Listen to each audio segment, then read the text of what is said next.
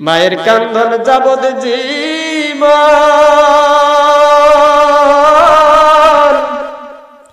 দু চার মাস বোনের কান্দন রে। ওরে গণের পরিবারের কান্দন দু চার দিন পর থাকে না। গর্ভধারিণী আমার জনম দুঃখী মা। গর্ভধারিণী আমার জনম দুঃখী মা। সুবহানাল্লাহ বলেন।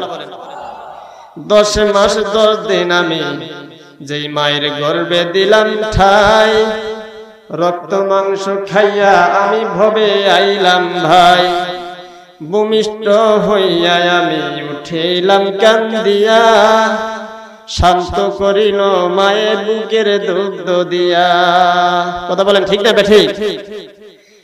দশ মাস দশ দিন আমি যে মায়ের গর্বে ছিলাম ভাই, রক্ত মাংস খেয়ে আমি ভবে আইলাম ভাই। ভূমিষ্ঠ হইয়া আমি উঠিলাম কান্দিয়া, শান্ত করিল মায়ের বুকের দুগ্ধ দিয়া। মায়ের প্রসবের কালে বুক বেশি যে নয়ন জলে রে ওরে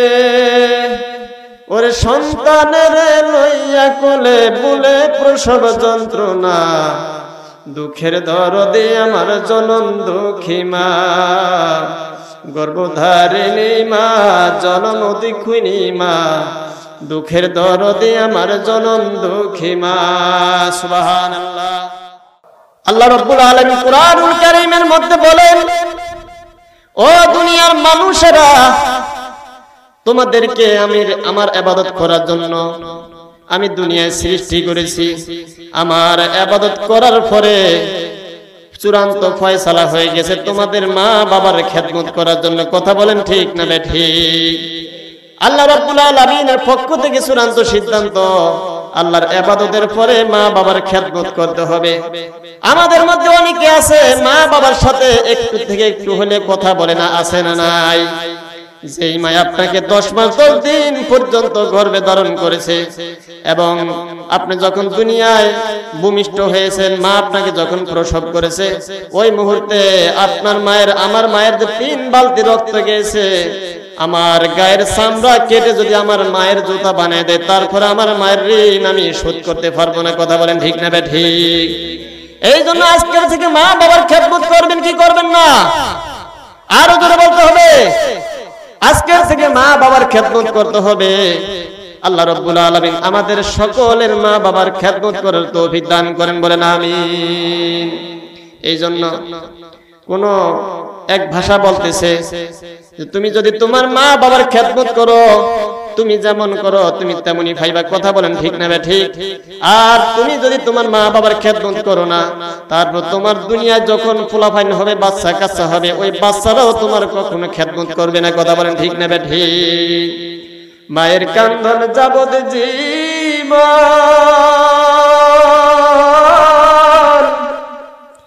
দু চার মাস বোনের কান্দন রে। ওরে গণের পরিবারের কান্দন দু চার দিন পর থাকে না। গর্ভধারিণী আমার জনম দুঃখী মা। গর্ভধারিণী আমার জনম দুঃখী মা। সুবহানাল্লাহ বলেন। দশ মাস দশ দিন আমি যেই মায়ের গর্বে দিলাম ঠাই, রক্ত মাংস খাইয়া আমি ভবে আইলাম ভাই। ভূমিষ্ঠ হইয়া আমি উঠিলাম কান্দিয়া, শান্ত করিল মায়ের বুকের দুগ্ধ দিয়া। কথা বলেন, ঠিক না বেঠিক দশ মাস দশ দিন আমি যে মায়ের গর্বে ছিলাম ভাই, রক্ত মাংস খেয়ে আমি ভবে আইলাম ভাই। ভূমিষ্ঠ হইয়া আমি উঠিলাম কান্দিয়া শান্ত করিল মায়ের বুকের দুগ্ধ দিয়া। মায়ের প্রসবের কালে বুক বেশি যে নয়ন জলে রে। ওরে সন্তানের লইয়া কোলে বলে প্রসব যন্ত্রণা। দুঃখের দরদে আমার জনন দুঃখী মা। গর্ভধারিণী মা, জনম দিক্ষিণী মা, দুঃখের দরদে আমার জনম দুঃখী মা সুবাহান আল্লাহ এই জন্য আমি আজকের থেকে আপনাদেরকে বলি, কখন মা বাবার সাথে বেয়াদবি করবেন না। আল্লাহ রব্বুল আলমিন কোরআনুল কারিমের মধ্যে বলছে, যে ব্যক্তি মা বাবার সাথে ভালো আচার আচরণ করে, আল্লাহ রব্বুল আলমিন ওই ব্যক্তিকে দুনিয়াও খাবাইবে আখেরাতেও তার জন্য শান্তির ব্যবস্থা আছে না নাই? বন্ধুরা, আবার আল্লাহ রব্বুল আলমিন কোরআনুল কারিমের মধ্যে বলেন, ও আমার বান্দারা, তোমরা দুনিয়াতে আসলা, আমি তোমাদেরকে আবাদত করার জন্য দুনিয়ার মধ্যে পাঠাইছি। কোন পীর বাবার বন্ড বাবার, তালা বাবার সালা বাবার আবাদত করার জন্য দুনিয়ায় পাঠাই নাই। কথা বলেন ঠিক না বেঠে? আবাদত করতে হবে কার? আল্লাহ রাব্বুল আলামিন কোরআনুল কারীমের মধ্যে বলছেন ওয়ামা খালাকুতুল জিন্না ওয়াল ইনসা ইল্লা লিয়াবুদুন।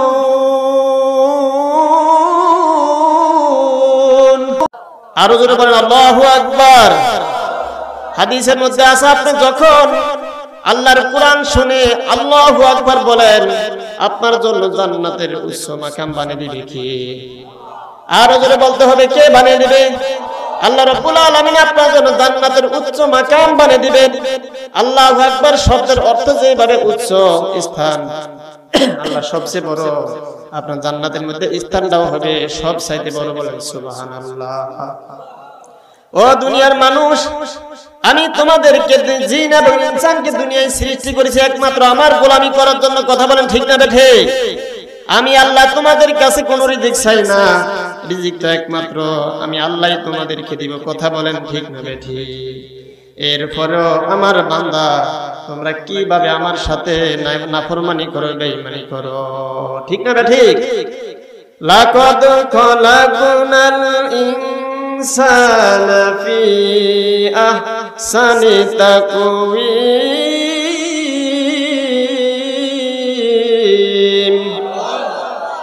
আল্লাহ রাব্বুল আলামিন কোরআনুল কারীমের মধ্যে বলেন, লাকদ খলাকুনাল ইনসানা ফি আহসানি তাকওয়িম। আমি আল্লাহ পাক মানুষকে এত সুন্দর করে বানাইলাম, সুঠাম করে বানাইলাম। তারপরে মানুষ কীভাবে আমার সাথে বেঈমানি করে, নাফরমানি করে কথা বলেন ঠিক না বেঠি এই জন্য আজকের থেকে ওয়াক্ত নামাজ আমরা কখনো বাদ দিতে পারব না। রাজি আছেন তো ইনশাআল্লাহ? নারায় তাকবীর! আল্লাহ, তুমি আমাদেরকে নামাজ জামাতের সাথে আদায় করার তৌফিক দান করেন, বলেন আপনার বাড়ির দরজায় মসজিদ আছে।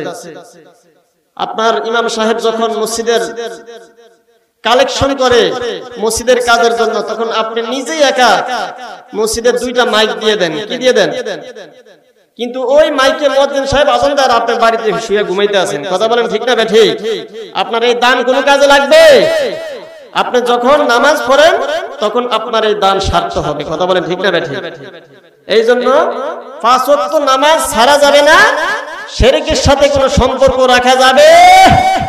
না, সম্পর্ক রাখতে হবে কার সাথে? আল্লাহর সাথে। আল্লাহ রাব্বুল আলামিন বলেন, আমার সাথে কীভাবে নাফরমানি করো, বেঈমানি করো? আমি আল্লাহ রাব্বুল আলামিন অতস তাম দুনিয়াটাকে আসমান এবং জমিন বানাইছে ছয় দিনে। আর একটা মানুষ বানাইতে আমি আল্লাহর লাগছে দশ মাস দশ দিন। ঠিক না বেঠে একটা মানুষ বানাইতে কয়দিন লাগছে? দশ মাস দশ দিন। একটা মানুষ বানাইতে লাগছে। আর তাম দুনিয়া, আসমান, জমিন বানাইতে কয়দিন লাগছে? নারায় থাকবে একটা মানুষ যখন বিবাহ শাদী করে বিবাহ শাদী করার পরে যখন স্বামী স্ত্রী সহবাস করে এই সহবাসের মাধ্যমে যখন স্ত্রীর গর্ভে স্বামীর বীর্য চলে যায় তখন আল্লাহ রব্বুল আলামিন একজন কুদরতি ফেরেস্তা মায়ের গর্ভের ভিতরে পাঠিয়ে দেয় বলেন সুবাহান কয়জন ফেরেস্তা আল্লাহ রব্বুল আলামিন একজন ফেরেস্তা পাঠিয়ে দেয়। এই ফেরেস্তা এসে বীর্যটা হাতের আঙ্গুলের মধ্যে ফেসায়। কি করে? আঙ্গুলের মধ্যে ফেসায়। চল্লিশ দিন পর্যন্ত এই বীর্যটারে হাতের আঙ্গুলের মধ্যে ফেসায় ঘুরাইতে থাকে। সুবাহান বলেন। কয়দিন পর্যন্ত? চল্লিশ দিন পর্যন্ত ঘুরাইতে থাকে। ঘুরাইতে ঘুরাইতে চল্লিশ দিন যখন পুরা হয়ে যায়, পুরা হওয়ার পরে এই বীর্যটা একটা রক্তের ফুটা আকারে ধারণ করে। কথা বলেন ঠিক না ব্যাঠি তারপরে এই ফেরেস্তা মায়ের গর্ভের থেকে চলে যায়। আবার নতুন আরেকজন ফেরেস্তা মায়ের গর্বে আসে। ওই রক্তের ফুটাটা হাতের আঙ্গুলের মধ্যে লইয়া চল্লিশ দিন পর্যন্ত ঘুরাইতে থাকে।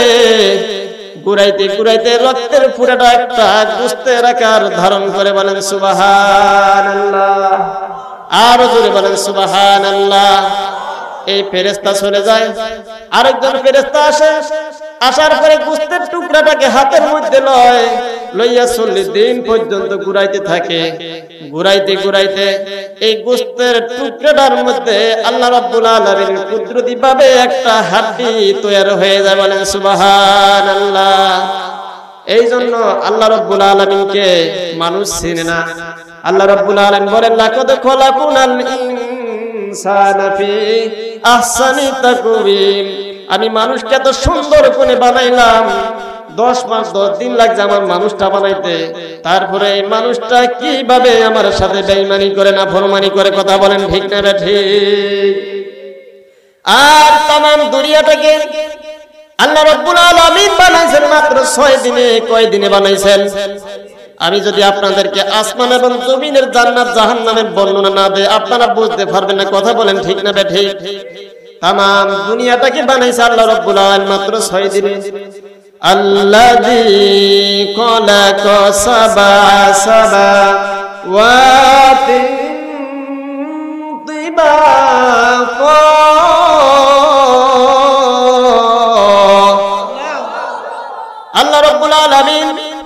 আসমান, জমিন, পাহাড়, পর্বত সব কিছুকে ছয় দিনে সৃষ্টি করেছে, কয় দিনে সৃষ্টি করেছে?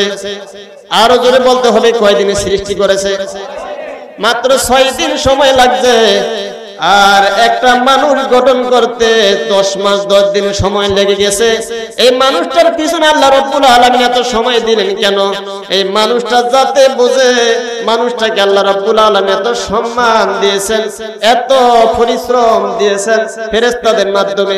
ফেরেস্তাদের মাধ্যমে পরিশ্রম দিয়ে মানুষটাকে এত সুন্দরভাবে সুঠাম করেছেন, গঠন করেছেন। গঠন করার পরে আল্লাহ রব্বুল আলমী কোরআনুল কারিমের মধ্যে বলেন ولقد كرمنا بني آدم سبحان الله আল্লাহ রাব্বুল আলামিন কোরআনুল কারীমের মধ্যে বলেন ওয়ালাকাদ কাররামনা বানি আদম আমি বনি আদমকে সম্মানিত করে বানাইছি কথা ঠিক না বেটি কিন্তু আল্লাহ রাব্বুল আলামিন আমাদেরকে সম্মানিত করে বানাইছেন আর আমরা পাঁচ ওয়াক্ত নামাজ না পড়ে মুসলমান দাবি করি, কথা কোন ঠিক না বেঠে? অনেকে আছে হুজুর, আমি নামাজ না পড়লে কি বলব? আমার ইমান তো ঠিক আছে, কথা বলেন ঠিক না বেঠে? ওই লোকটা হলো একমাত্র প্রতারক এবং ভণ্ড মিথ্যুক, কথা বলেন ঠিক না বেঠে? পাঁচ ওয়াক্ত নামাজ, যার ভিতরে আছে আল্লাহর পুরা রহমত তার ভিতরে আছে। কথা বলেন ঠিক না আপনারা কি বেজার হইতেছেন ভাই? আমি কি আপনাদের ভালোর জন্য বলি না খারাপের জন্য বলি? আপনারা কি রাগ হবেন রাগ হলে আমি আর ওয়াজ করব না। কথা বলেন ঠিক না বেটি কমু কি কমু না? এই জন্য আজকে থেকে নামাজ পড়েন তো ইনশাআল্লাহ। কাল কেয়ামতের ময়দানে মানুষ আফসোস করতে করতে করতে করতে নিজের হাতের চামড়া গুলা টাইনা ছিঁড়ে ফেলবে। কথা বলেন ঠিক না বেটি? বাড়ির দরজায় মসজিদের হুজুর এত সুন্দর করে আমাদেরকে বুঝাইছে, ওয়াজ করছে। তারপরে আমরা হুজুরের কথাগুলা শুনলাম না। না শোনার কারণে আজকে আমাদের এই অবস্থা হয়েছে। কথা বলেন ঠিক না বেঠি তামাম দুনিয়ার মধ্যে একটা নেকির জন্য দৌড়াদৌড়ি করবেন। দুনিয়ার মধ্যে আমরা পরীক্ষায় যখন পাশ করি, রেজাল্ট যখন এক নাম্বার, দুই নাম্বার, তিন নাম্বার হয়, হওয়ার পরে আমরা মিষ্টি বিতরণ করি আর মনে মনে কত খুশি। কথা বলেন ঠিক না ঠিক? খুশিতে আমাদের কলিজা ফাইটটা যায়। তদ্রূপ কাল কিয়ামতের ময়দানে জান্নাতের ভিতরে এরকম হবে। যার হাতে জান্নাতের টিকিটটা চলে যাবে, ওই ব্যক্তি সকল গুনাহগারদের সামনে টিকিটটা নিয়ে দৌড়াইতে থাকবে আর আনন্দ করতে থাকবে। দেখো, এই যে আমার টিকিট আমি হাতে পেয়ে গেছি। আর ওদের বলেন, সুবহানাল্লাহ। জান্নাতের টিকিট হাতে পাইতেছেন কারা কারা? নারায় থাকবেন আল্লাহ, তুমি আমাদের সকলের নামাজ পড়ার তৌফিক দান করে বলেন, আমিন। আমাদের সকলকে তোমার বান্দা হিসেবে কবুল করেন আমিন। আমাদের সকলকে তোমার নবীর উম্মত হিসেবে কবুল করেন বলেন আমিন।